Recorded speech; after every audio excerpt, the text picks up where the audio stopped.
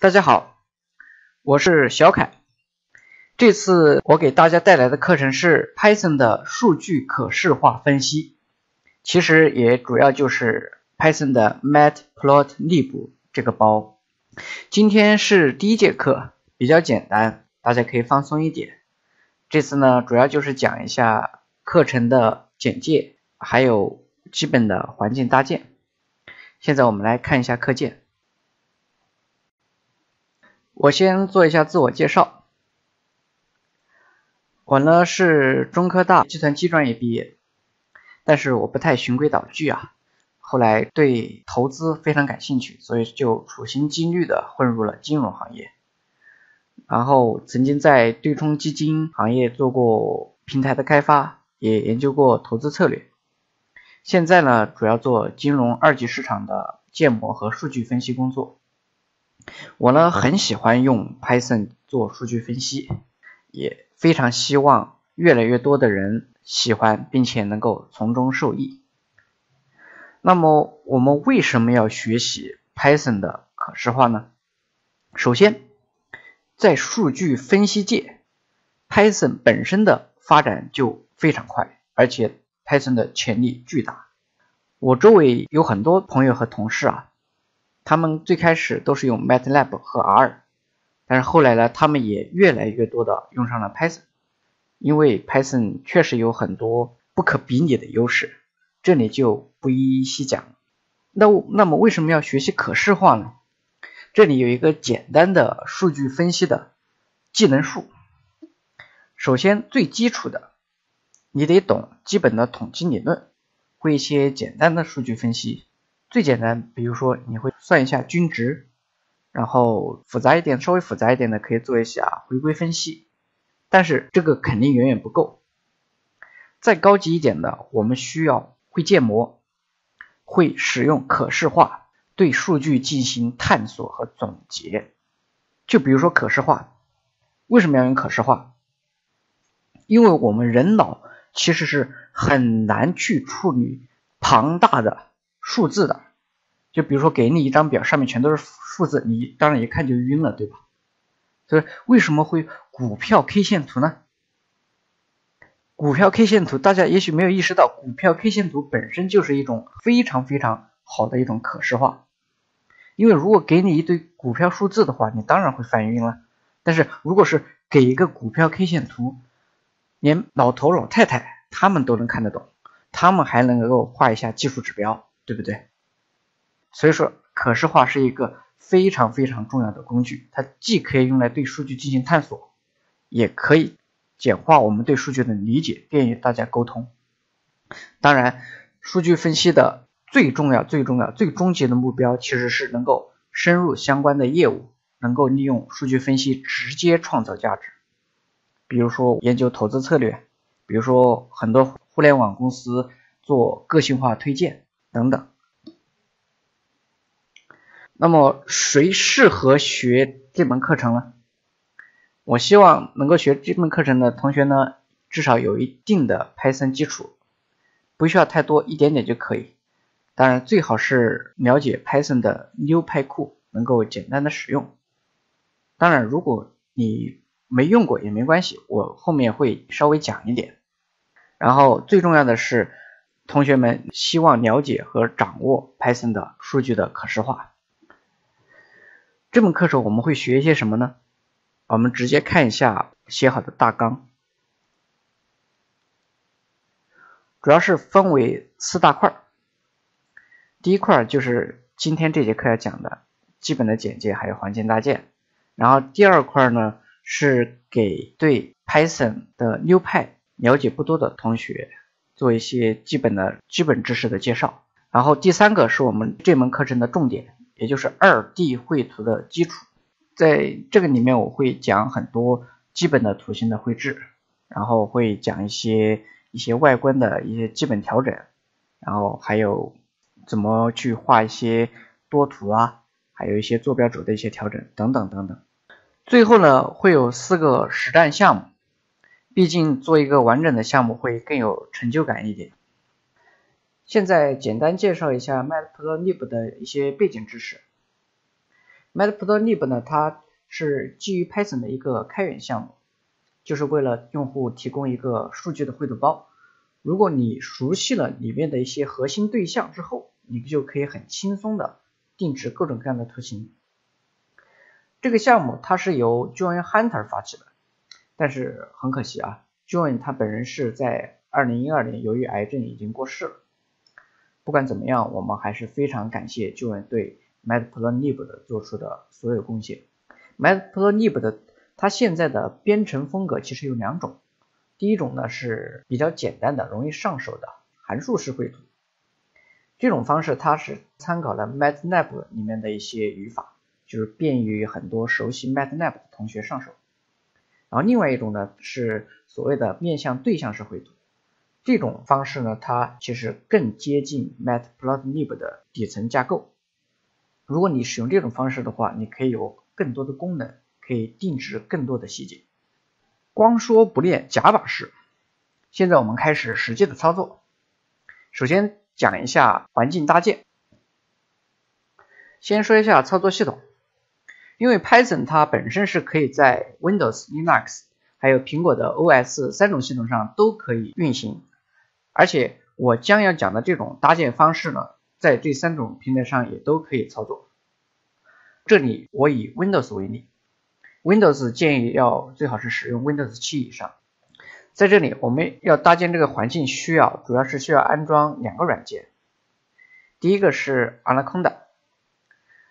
Anaconda 呢，它其实是一个集成包，它集成了 Python 跟 Python 相关的几乎所有的数据分析的安装包，比如说像 NumPy 呀，还有 CPy 呀，还有 Matplotlib 呀，还有甚至还有 IPython。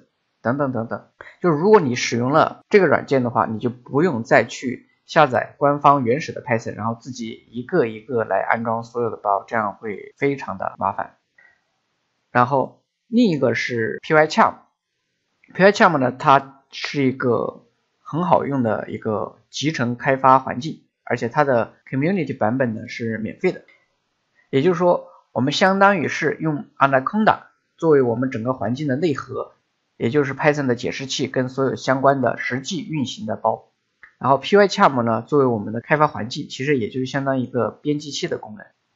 好，我们现在开始正式的安装。首先我们要先下载这两个软件。第一个，首先下阿拉康的百度一下，然后可以看到第一个就是他们的官。好，进去了之后，大家可以看得到，它这里。其实是有三个版本的，第一个是 Windows，第二个是 OS，然后第三个是 Linux，这三个版本其实都可以用，针对自己不同的操作系统。然后 Windows 的话，呃，我们是使用 Python 2.7的，也就是如果你是六十四位系统的话，你就下载这个；如果你是三十二位的系统的话，你就下载这个。这个我已经提前下好在桌面上了，下好之后。就是这个软件，呃，然后我们再下载 PyCharm，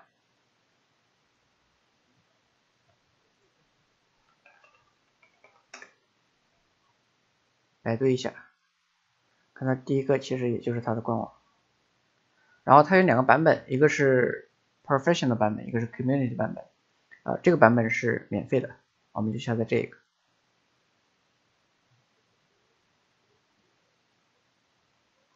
然后你点进去之后，它会根据你的系统直接识别适合你的版本，然后直接点下载就可以了。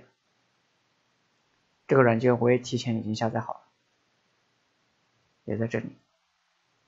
好，我们现在开始安装。安装的话，Anaconda 其实没什么好讲的，大家直接双击，然后下一步下一步就安装完了。然后选择好路径，最好是路径里面不要有空格，也不要有汉字。这样的话比较方便一点。然后现在讲一下 PyCharm 的安装，因为它里面有一些需要配置的东西。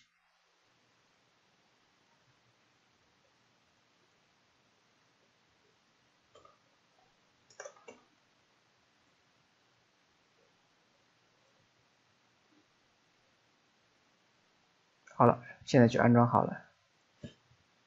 然后打开软件。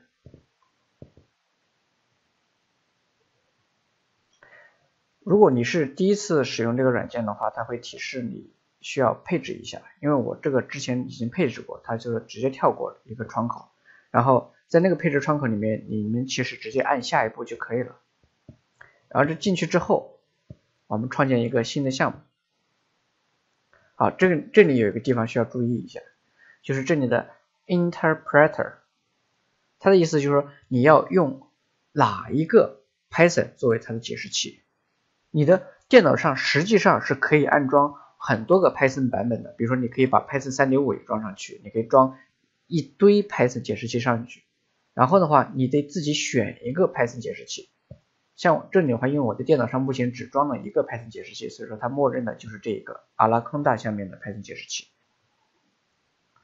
然后我们先创建第一个项目。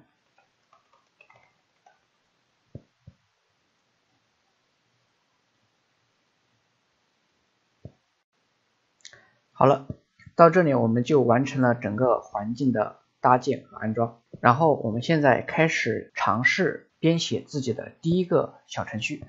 我们先用控制台尝试一下，点击这里的 Tools 工具，然后点 Python Console，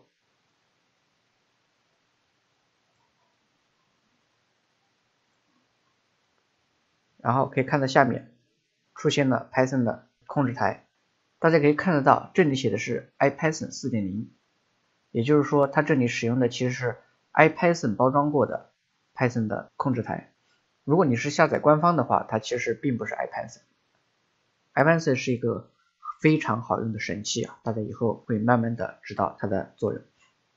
然后现在我们已经进入到这个控制台了，先尝试一下，比如说 a 等于一，看一下，现在我们已经有值了，就是说明它是可以运行的。然后我们现在开始使用我们的 Matplotlib，首先我们先导入。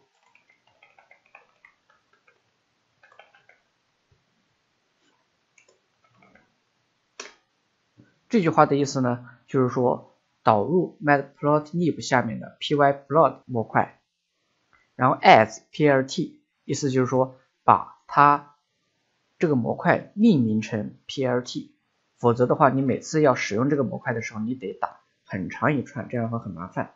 如果把它命名成 plt 的话，每次我们使用它的时候，只需要输入 plt 就代替了整个这一串长串文字。好，然后我们现在开始使用它。这个 PLT 就是我们刚才导入的模块。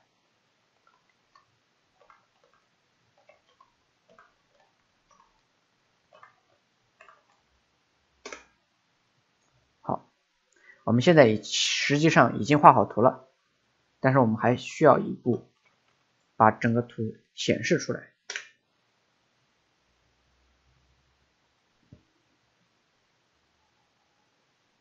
好，整个图已经显示出来了。这就是我们画好的图。它这句话的意思其实很简单，就是 x 坐标是一二三，然后 y 的坐标是三二一，然后画一条线。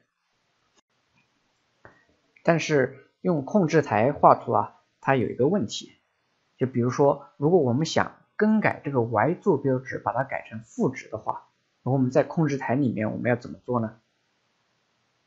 首先我们关掉这个图。首先呢，我们得重新操纵这一句话。这里有一个小技巧，在控制台里面，你按上下的话，你是可以跳到之前的已经运行过的命令的。这样的话可以很方便，不用再重新输入。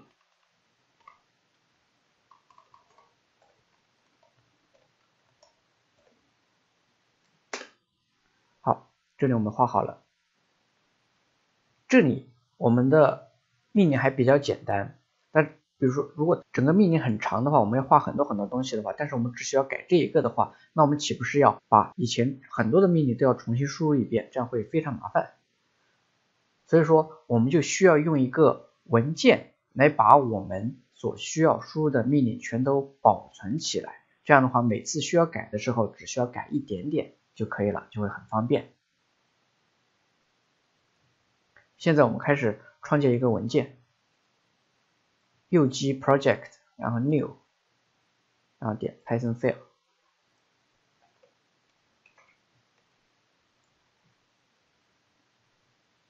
OK，现在我们开始创建文件，然后我们把这些命令全都粘贴进去。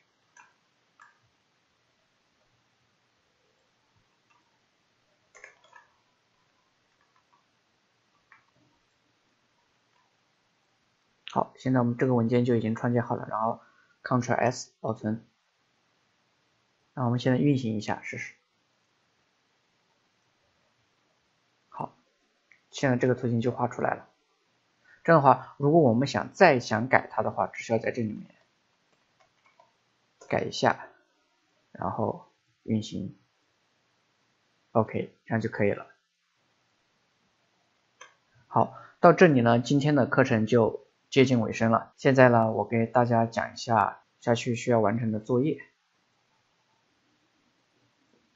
作业其实很简单啊，就是你要针对你自己的系统安装 Anaconda 和 PyCharm，然后安装完成之后呢，运行这一段代码就可以了。最好是呢，用控制台和文件的形式两种都尝试一下。今天呢，课程就到这里结束了。谢谢大家。